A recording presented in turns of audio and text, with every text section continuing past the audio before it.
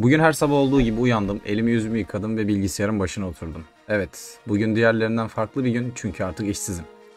Hedeflerim ve hayallerimi öne sürerek işimden ayrıldım.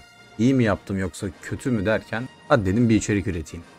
Bunun için YouTube'da gezerken karşıma sürekli ama sürekli aynı videonun çıkmasına o kadar sıkıldım ki dedim dur ulan neymiş bu? Videonun çıkış kaynağına indim. Hemen hemen çoğu serisinde izledim ama saatler sonra bunun gerçekten hiçbir amacı olmadığını, aksine bu saçmalığın neden bu kadar popüler olduğunu keşfettim. Evet, Toilet. My style is ridiculous.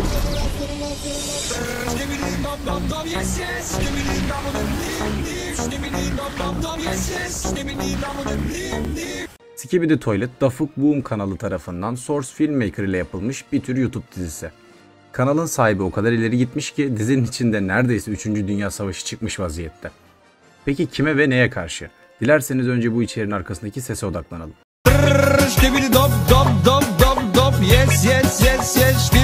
Geçtiğimiz sene içinde bu Türk kardeşimizin ettiği bir dans videosu ve arkasına da bu şarkıyı koymasıyla patlamış, dünyada büyük kitlelere ulaşan hatta artık reklam yüzü olmuş olan bir trend. Peki ya tuvaletin alakası ne? Yani koca içerik üreticisi neden bu şarkıyla bir tuvalet ve onun içinden çıkan bir kafayı kullanmak istemiş ki? Bunu anlamak için bu trendin derinlerine tekrar inmemiz lazım. Bayanlar ve baylar, kemerlerinizi bağlayın ve hazır olun. YouTube'un derinlerine inmek üzereyiz. Öncelikle Dafuk Boom kanalını inceleyelim. Bu adam neler yapıyor? Gördüğünüz üzere bu arkadaşımız genel olarak popülerleşmiş karakterleri veya mimleri kullanarak hiç yaşanmamış senaryoları Source Filmmaker kullanarak ya yaşansaydı düşüncesiyle kısa filmlere dönüştürerek önümüze atıyor. İyi, çok iyi, hatta bayağı iyi. Sonuçta Men in Black'te Big Smoke'u görmeyi kim istemez ki? Bu kafayla üretilmiş şahane içerikler stüdyosu kuran kanalın sahibine sonsuz teşekkürler. Çeşitlilik her zaman iyidir. Ama neden tuvalet? Hadi şarkıyı atladık. Bu tutmuş bir trend ve çoğu insanın dinlemekten veya izlemekten keyif alıyor. Ama tuvalet neden? Tuvaletin alakasını gelin sizlere şöyle anlatayım. Dünyada yaşayan insanlar yani bizler çoğunluğumuz aslında kaos görmekten, saçmalık görmekten, bir şeylerin yakılıp yıkıldığını görmekten gayet keyif alıyoruz. Öyle ki bazen bir futbol maçını savaşa benzettiğimiz dahi oluyor.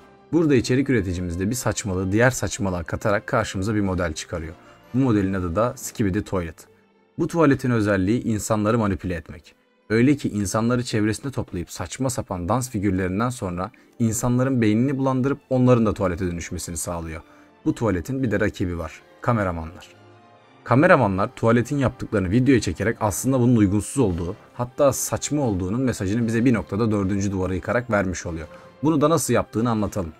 Tuvalet çoğu toplulukta mahrem kabul edildiği için bununla alakalı şeylerin de karşımıza rahatça çıkarılması bir rahatsızlık duygusu yarattığı ve bu rahatsızlığı ortadan kaldıracak en caydırıcı çözüm de insanlara ulaştırmak. Yani dördüncü duvarı bu şekilde yıkmış oluyor. Kameramanlar kendi fikirlerince tuvaletleri kameraya çekerek yaptıklarının ayıp olduğunu ve tüm insanların onları izlediğini mesajını verse de tuvaletler durmak istemiyor.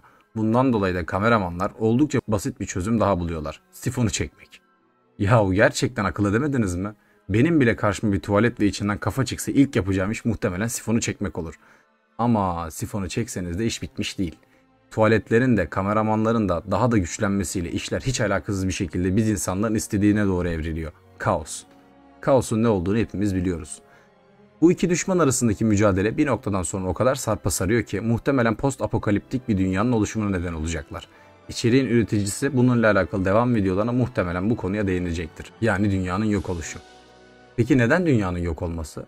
Çünkü sevgili dostlar biz insanlar genel olarak yaşadığımız dünyada düzeni sevmeyiz. O kadar sevmeyiz ki kul hakkı yeriz. Haram sayılabilecek tüm günahları işleriz. Bu arada asla dini inancınıza saygısızlık etmek istemem farklı düşünebilirsiniz. Hatta ileriye giderek inançlarımızı bir kenara bırakırsak ahlaktan gerçekten bir haberiz ve bu nedenden ötürü kaos, düzensizlik ve bir şeylerin yok olduğunu görmek hepimizin hoşuna gidiyor. Dafuk Boom'un da yaptığı aslında istediğimizi bize vermek. Yani dostlarım İçeriğin hiçbir numarası yok. Bize vermek istediği bir mesaj da yok. Buradan alabileceğimiz tek ders size kurmuş olduğum son cümlelerde gizli. Biraz uğraşın bakalım. Videonun sonuna gelirken sizlere şunu söylemek istiyorum. Artık kalite zaman alır mottosuyla her gün video atmayacağım.